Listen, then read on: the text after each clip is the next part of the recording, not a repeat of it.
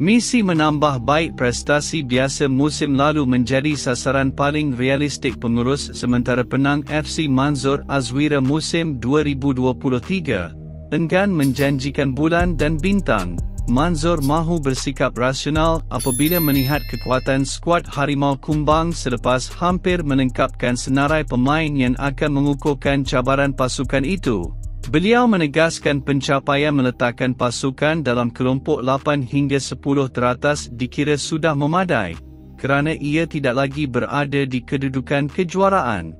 Terakhir, seperti yang dialami sepanjang musim lalu, Manzur Azwira berkata begini, saya tidak mahu meletakkan matlamat yang terlalu tinggi dan sukar dicapai kerana pasukan lain juga memandang serius terhadap agregasi kualiti pemain. Pulau Pinang sedang dalam proses membina semula pasukan dan saya harap ini pasukan mempunyai lebih kualiti pada musim 2022.